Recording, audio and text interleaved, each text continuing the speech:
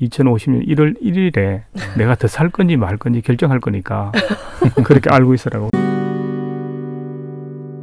삼성이 철학하는 이유 최주락 작가님과 함께하고 있습니다. 네. 저- 궁금한 게 네, 네. 있는데요. 이게 이제 첫 책이시잖아요. 예, 그러면 이제 삼성 다니시는 동안에는 글을 안 쓰셨나요? 안 썼습니다. 예. 어. 그런데 이 이렇게 책을 왕성하게 많은 양이 한 번에 쏟아져 나올 수가 있는 거예요. 그 평상시에 어. 그 소주제별로 결론을 머릿속으로 다 내려놨기 때문에 네. 아, 퇴사를 제가 19년 12월에 은퇴를 하고 음. 어, 앞으로 어떻게 살 건가 고민을 좀 하다가 한 6개월 푹 쉬다가 네. 네. 그 동안의 생각을 정리를 좀 해봐야 되겠다 주제별로 저도 사실은 궁금했습니다. 이게 다 정리를 해놓으면 예. 어떤 모습이 될까 음. 이런 궁금하기도 했고요. 그래서 종합적으로 한번 정리를 해보고 싶어서 그럼 책을 써보자 이렇게 결론을 내리고 네. 소 주제를 제목을 한 게 제가 성가 죄다 그럼 성가 죄에 대해서 처음에 제가 생각하는. 쭉 정리를 하고 음. 우주다 같은 우주에 대해서 정리를 하고 욕망 이런 식으로 계속 정리를 다 했죠. 해- 하다 보니까 이게 이제 한개 전체 틀이 완성이 일단 되더라고요. 그런 다음에 음. 재분류를 했죠. 음. 그래서 물론 인용한 책들이 좀 많이 있습니다. 있는데 이 네. 부분들은 그 평상시 읽은 책들이 있기 때문에 그거를 음. 그냥 가져다 다시 한번 보고 정리를 하고 이런 식으로 음. 과정을 거쳤습니다. 네. 어떤 작가를 좋아하세요? 책 어떤 작고요? 예. 어, 미치오 카크? 예, 미치오 가쿠도 많은 네. 책을 썼죠. 예, 그분 책도 제가 대부분 다 읽었고요. 음. 평행우주부터 시작해서 예. 음. 그 다음에 어, 브라이언 그린입니까? 예, 우주의 잘 구조하고 모릅니다. 예.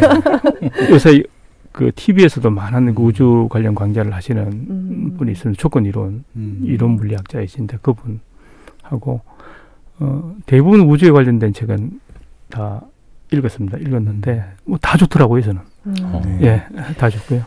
그 삼성전자에서 전무까지 지내셨잖아요. 사실 저는 그렇게 큰 조직에 있어 본 적도 없고 음. 그렇게 높으신 분이 어떤 게 아, 전무님, 전무님 아, 이런 걸 예. 받으면서 살아가는지를 잘 모르는데 음.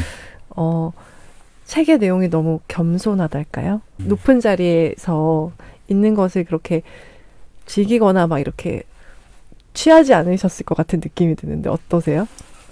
아닙니다. 저도 네. 이거 이거는 그때 당시에 부하 직원 아, 네. 더 가지기 위해서 또 뭔가를 목표를 네. 달성하기 위해서 엄청나게 많은 무리를 했죠. 음. 예.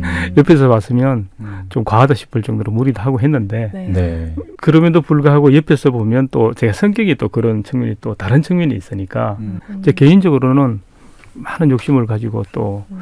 인간 세상의 어떤 음. 성공 이런 걸 위해서 많이 열심히 뭐 뛰어왔습니다. 그리고 음. 우리나라의 삼성뿐만 아니라 그러니까 예. 미래 애플, 뭐 음. 미래 테슬라 같은 기업들이 우리나라에서 많이 나왔으면 좋겠거든요. 음. 예, 그러면. 어떤 식으로 철학해야 이제 젊은이들이 그런 기업을 만들 수 있을까요? 예. 결국 철학이 삶이죠, 삶 자체이죠. 음. 그래서 어, 그런 살아갈 때 평상시에 단순히 한쪽에 치우치지 말고 제 생각은 한쪽에 치우치지 말고 어, 실체적 어떤 본질을 알기 위해서 어, 자연스럽게 노력을 하다 보면 그런 것들이 뭉쳐지면서 그럼 앞으로 어떻게 살아야 되는지 기업은 음. 또 어떻게 또 운영을 해야 될지 음. 미래의 기술은 어떤 식으로 기- 유- 끌고 나가야 될 건지 하는 게 자연스럽게 보이지 않을까 저는 그렇게 생각합니다.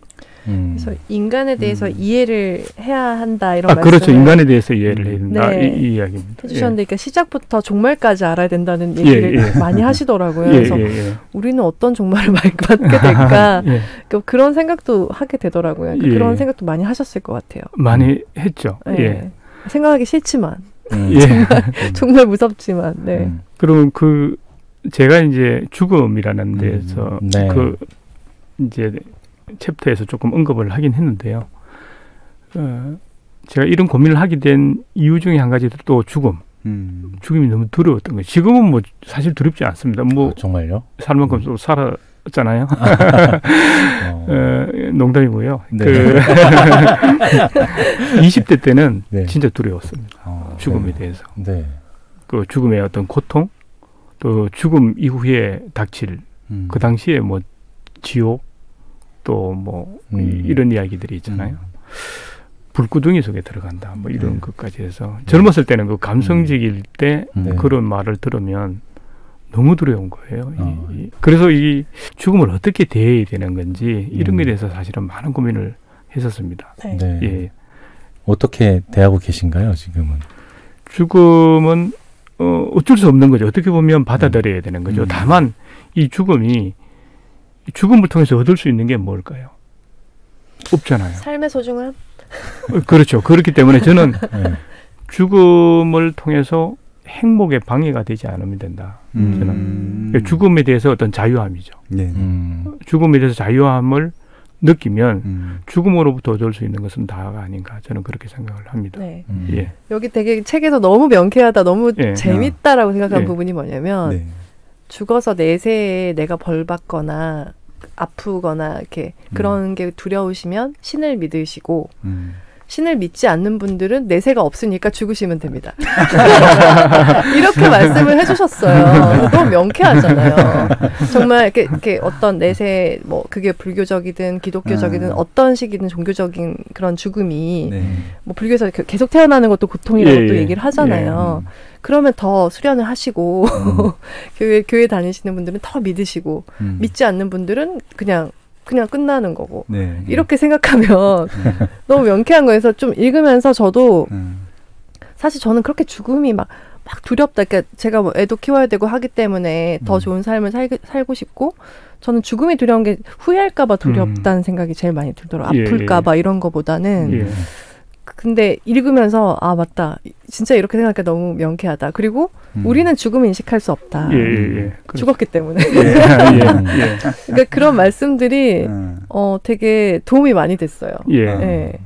그래서 저 아까 결론을 말씀해 주셨는데요. 네, 네, 네. 어떻게 벗어났느냐. 아까 음. 서두에 질문하신 거하고 똑같은데 어, 그래서 종교에서 이야기를 해서 그걸 들으면 제가 믿음을 가져야 되잖아요. 네. 결국은 그렇지만 이 세상에는 믿음을 가지신 분들도 있고 음. 안 가진 분들도 있고 이렇게 다양하기 때문에 네. 그럼 두 분 다 만족을 하는 방법이 뭐냐? 그래서 아까 말씀하신 음. 믿음을 가지신 분들은 믿음을 통해서 천국과 극락을 가게 되니 문제가 없는 거고 네. 갖지 않은 사람들은 음. 그 천국 극- 극락 같은 거 없는 거야. 음. 그러니 죽음 이후에는 끝이야. 이렇게 생각한다 그러면 죽음 이후를 두려워할 이유가 종교를 가진 사람이든 갖지 않은 사람이든 똑같은 결론에 도달하게 되는 거거든요. 음. 네. 예. 그래서 그. 당시에 예, 그 당시에 제가 느꼈던 네. 그래서 그 젊은 시절에 그렇게 해서 어 그럼 문제가 없는 거야 내 소신대로 살면 되는 거야 어떤 음. 물론 네. 교만한 이야기죠 이게 어떻게 보면 음. 교만한 이야기인데 네. 그렇게 결론을 내리고 나니까 죽음이 두렵지가 않더라고요. 음. 예.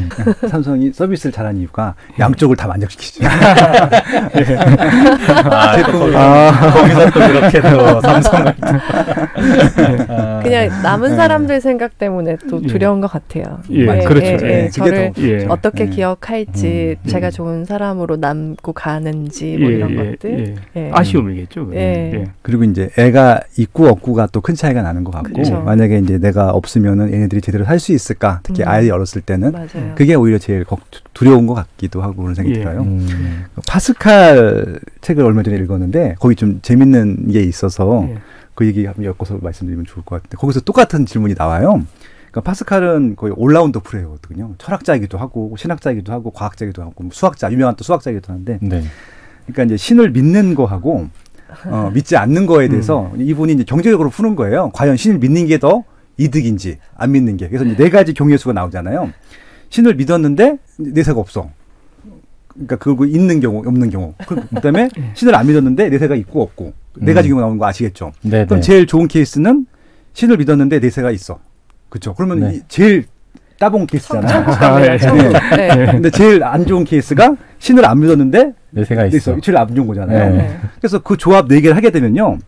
상위 두 개가 신을 믿는 거고 하위 두 개가 신이 안 믿는 거예요. 그러니까 신을 믿는 게 무조건 이득인 거예요. 그렇죠. 아. 네, 중간이 좀 애매하긴 한데 이것저것 제일 나쁜 거랑 제일 좋은 거 하게 되면은 네. 이게 신을 믿는 게 더 경제적으로도 이득인 거예요. 그래서 음. 아마 서양 사람들이 다 신을 믿는 합리적인 것들을 좋아하니까 음. 그렇게 아. 책 쓰면서 정리했더라고요. 아, 야, 예. 이거 이 사람 되게 대단한 천재인데? 네, 그러니까요. 그걸 또 예. 계산해서 그렇게 믿냐 또.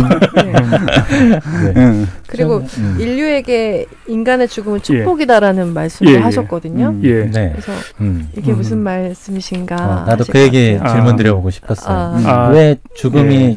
죽음을 이제 미래 사회에서는 예.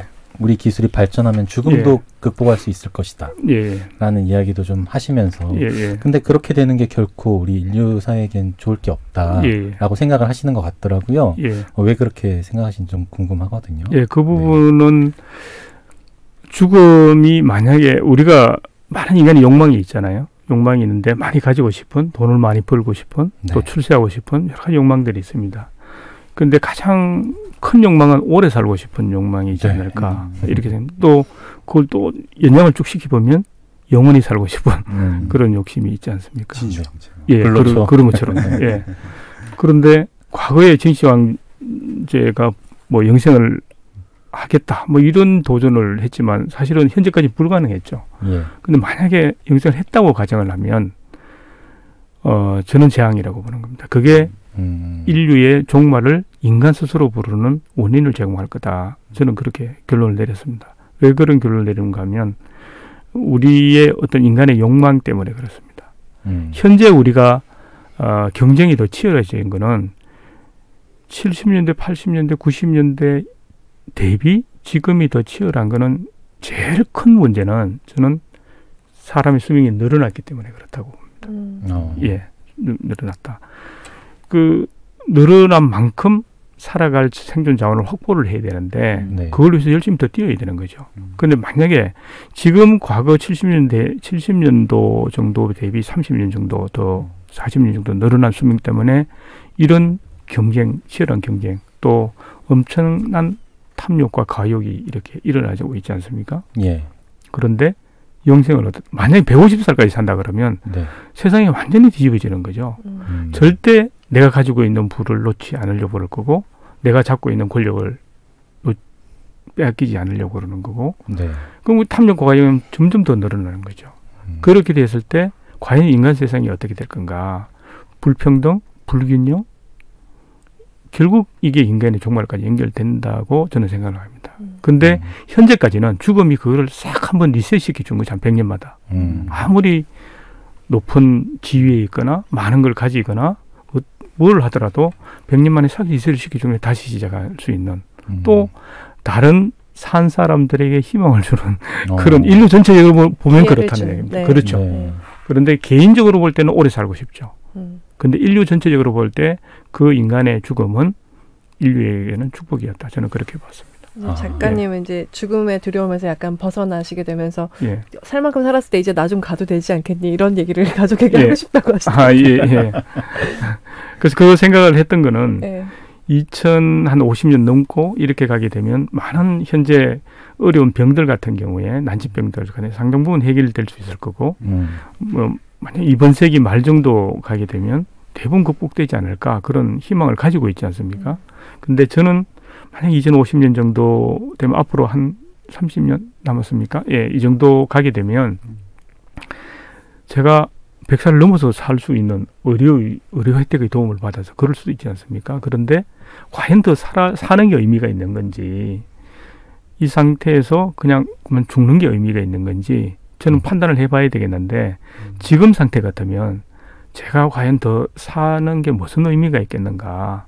차라리 죽는 게 낫지 않겠는가? 음. 그래서 제가 농담으로 이렇게 집에서 제 집사람한테 이야기한 게 2050년 1월 1일에 내가 더 살 건지 말 건지 결정할 거니까 그렇게 알고 있으라고 네. 그런 농담을 어. 했습니다. 예. 3대 거짓말 중에 하나가 네. 뭘, 뭘 그래. 아, 이제 그만 사. 어, 이제 가야지. 그때 가봐야 알겠죠. 그렇죠. 가봐야 현재 돼. 마음은 그렇다는 이야기입니다. 그때 너무 젊고 건강하실 것 같아서. 예. 네, 그냥 무슨 말도 안 되는 농담을 하시는 거야 이렇게 하실 것 같아요. 사모님이 또 종신보험 또 몰래 근데 지금 생각은 죽는 게 도움이 여러모로 도움이 되지 않을까 이 사회에 아, 음. 하여튼 그런 생각도 어. 진짜 예. 아무리 가져도 이렇게 충분치 않은 느낌이 많이 예. 드는 것 같아요. 예. 100살 살 거, 애들 키울 예. 거 생각하면 음. 어, 지금 먹고 살만한데 싶다가도 음. 예. 아니야 이걸로는 안 돼. 이런 음. 생각이 항상 드는 거죠. 그렇죠. 부족해. 예. 예. 그 욕망에 대해서도 좀 이야기를 해보면 좋을 것 같아요. 왜 예. 사람을 이렇게 끝도 없이 예. 욕망할까요? 그리고 음. 적절한 수준이란 또 어느 정도가 참 적절한 수준일까 이런 생각도 좀 해보게 되거든요. 저도 그 부분을 생각한 게 인간 본질하고 밀접히 연관이 돼 있다고 느껴지잖아요. 사실은 음. 우리가 어떤 욕망을 위해서 계속 이제 욕망을 어떤 얻기 위해서 이, 살아가고 있는 건데 네.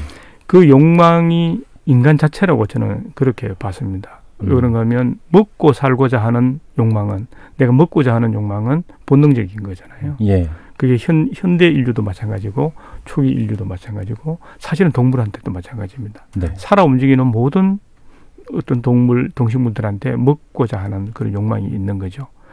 그렇기 때문에 그, 이 욕망이 없었다 그러면 현재 우리 인류가 이 유망 생존을 해서 유지해 올 수 없었지 않았나 이런 생각이 듭니다. 네. 그래서 네. 욕망이 가장 기본적인 원천으로 봤고요. 인간의 음. 본질의 원천이 욕망이다. 음. 그래서 크게 봐서는 어떤 욕망의 어떤 바다에 음. 예, 존재하게 되는 거죠. 근데 이 욕망을 떨쳐내기 위해서 많은 노력을 하잖아요. 그러니까 행복이 어떤 가지고자 하는 어떤 음, 그가 분모에 있다고 그러면 예. 우리가 얻는 성취하는 거가 분자에 어떤 게 있다 그러면 이 욕망이라는 그 밑에 욕망을 최대한 줄이면 행복해진다. 이런 논리가 있지 않습니까? 옛날부터? 있는데 그 욕망을 최대한 줄이고 줄인다 그러면 음. 어디가 줄일 수 있겠는가? 음. 저도 많이 욕망을 버리려고 노력을 해봤고 사실은 되지 않죠. 욕망을 끊임 추구를 해야 살아 그런 말은 때문에 듣고 싶지 않아요. 아 그래요 어, 난 집에서 삼겹살 먹고 있는데 옆에는 스테이크 아, 그렇죠 있어. 예, 예, 예, 예. 아이씨. 그러니까 그게 그게 예. 본심인 것 같아요. 인간의 예, 본심. 그렇죠, 예. 예, 예. 근데 그 욕망의 하한선을 저는 생존이라고 봤던 겁니다. 음. 음. 욕망의 하한선 내리고 내리고 가다 보면 음. 그래도 먹고 살 건 있어야 되지 않느냐. 음. 그리고 그거는 어떻게 보면 그럼 많은 그 깨달음 얻은 분들의 이야기일 수도 있겠지만 음. 일반적인 우리 평범한 우리 대부분은 음. 기본적으로 어느 정도 어 기본적인 생존을 위한 의식주가 음. 있는 정도가 욕망의 하한선이 아니겠는가 이렇게 음. 생각합니다. 그러면 나머지 부분 이 우리가 열심히 노력을 해서 음. 어, 여러 가지 어떤 물질적인 부를 이루거나 뭔가를 얻었을 때 전부 기쁨의 요소가 되는 거죠. 음. 그러니까 음. 그뭐 욕망의 한선을 정확하게 규정을 한 다음에 그거 위에는 전부 기쁨이다 이렇게 받아들이게 되면 기쁨을 느낄 요소들이 엄청나게 많이 있는 거죠. 음. 우리 주변의 자연, 사회 전체적으로 어떤 사회생활 할 때 전부 기쁨의 조건이지 그게 어떤 고, 고의 조건은 아니지 않느냐 하는 게 개인적인 생각입니다. 예. 음. 그래서 저는 이제 이런저런 책들을 주워 읽다 보니까 예. 이제 왜 살아요? 이러면 행복하려고 사는 거지 뭐 있어? 뭐 이렇게 예, 얘기들을 예, 예. 하잖아요. 예, 예, 근데 예. 행복을 떠올리면 바로 불행해질까봐 두려워지고 예, 예, 예. 행복을 추구하면은 불행해질 가능성이 더 커지기 때문에 행복을 추구하지 말라는 얘기를 많이 들은 예, 거예요. 예, 예. 그래서 저는 좀 평화로움, 평온함, 마음이나 예, 이렇게 모든 예, 예. 상황의 평온함, 평화로움, 그리고 성장 예. 이런 것들을 저는 좀 추구한다고 음. 생각을 해보려고 예, 하거든요. 아, 예, 예. 아, 세뇌. 그렇죠. 그러니까 예, 예. 어쩌면 행복을 또 그게 예. 저의 행복일 수 있겠죠. 예, 그렇죠. 예. 그래서 어, 행복에 대해서도 얘기를 하면 예. 좋을 것 같아요. 전 그 행복 얘기 나왔으니까 하는 말인데 음. 행복의 성격을 정확하게 규명해야 된다. 예, 예. 정리를 잘 해야 된다. 예, 예. 그런 이야기가 책에 나오는데 예. 어 그것도 좀 되게 흥미로웠거든요. 예. 보통 생각하는 우리가 생각하는 행복이라는 것을 예, 예, 예. 뭐 사람으로 이인화하면 되게 예. 따뜻하고 예. 성실하고 뭐 다정다감일 예. 거다라고 예. 이제 생각은 하지만 실체는 다르다라고 예. 말씀하셨어요. 그 예. 얘기도 좀 해주세요. 행복을 이야기하면 아까 말씀하신 대로 상당히 따뜻하고 이타적이고 네. 뭐 이런 사랑이 이 가득 이렇게 있는 그런 성격으로 이해를 막연히 해왔죠. 이미지가 그래요. 그? 이미지가 예. 행복이라 그러면 그런 네. 이미지가 그려지잖아요. 네.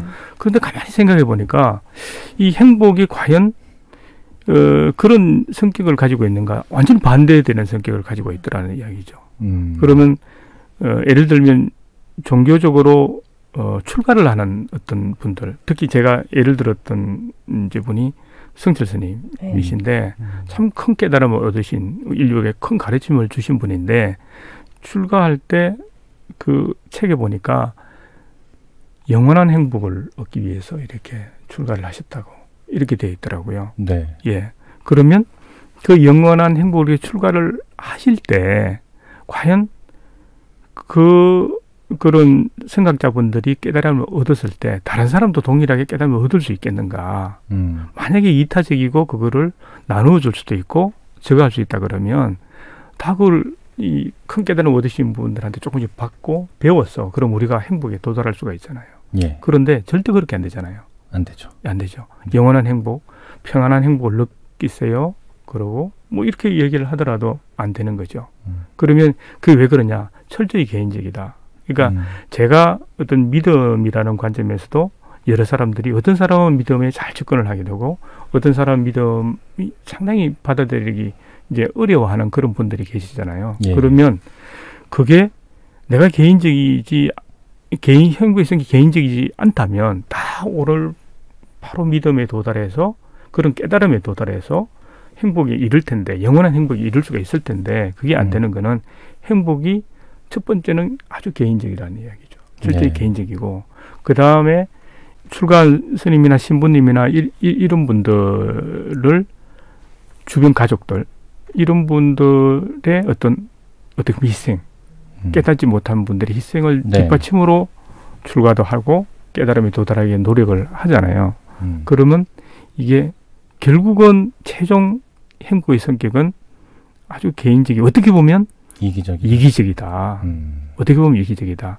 물론 그런 깨달음을 통해서 상당히 인류의 깊은 가르침을 전달할 수 있고 줄 수도 있지만 행복의 성격 자체만은 그렇다. 음. 그러는 거죠. 그렇기 때문에 그 북구 유럽 사람들이 행복하다는 것은 상당히 개인적이고 이런 성격을 가지는 거고 어, 동아시아, 동국 아시아 쪽 극동지방 음, 우리 일본을 포함해서 우리 같은 경우에는 상당히 집단주의적인 이기적이지 않고 집단주의적인 그런 성격을 가지고 있기 때문에 음. 행복에 좀 덜 이렇게 다가가는데 좀 어려워하는 음. 예. 음. 그래서 행복의 성격과 반대적인 성향을 가진 집단주의 문화 이런 것 때문에 조금 덜 행복함을 느끼는 거고 북구 서양 분들은 개인적인 성향을 가진 이런 사고 방식 때문에 음. 행복에 좀 더 쉽게 도달하지 않느냐 저는 그렇게 정리를 했습니다. 음. 예. 그왜 흔하게들 나중에 어떻게 됐으면 좋겠어요? 그러면 예. 행복하고 싶어요. 이런 말을 되게 많이 하잖아요. 예. 예. 이런 이기적인 인간들.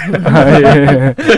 아 근데 그게 음. 참 예. 되게 달랐다는 것도 예, 예. 전혀 생각을 못했던 예, 건데 예. 아, 우리가 생각하는 그 느낌하고 실제 성격이 이렇게 예. 다르구나라는 예. 것도 이 책을 읽으면서 알게 돼서 좋았던 것 같아요. 예. 네, 네. 내가 생각하는 행복은 내 가족이나 내 지인 정도에 국한되지 않았었나. 그렇죠. 예, 예. 이타적이라고 해봐야 어, 예. 그렇죠, 그렇죠. 그런 생각이 들어요. 예. 그래서 네. 그거를 인류의 어떤 행복, 인류 음. 전체의 깨달음으로 성화시켜 나가야 된다는 게 어, 제가 이제 여러 곳에서 많이 표현을 좀 했습니다. 예. 예. 그거를 어떻게 해야 될까요? 음. 아, 되게 좀 어떻게 보면 필요한 일이라는 데는 예. 되게 동감이 되는데 예, 예, 어, 막상 이렇게 실천하려고 하면 뭘 어떻게 해야 될지는 전혀 감이 안 오는 예, 예, 그런 상태라고 볼 수 있거든요. 예. 어떻게 실천을 하는 게 좋을까요? 아, 그 그거는 다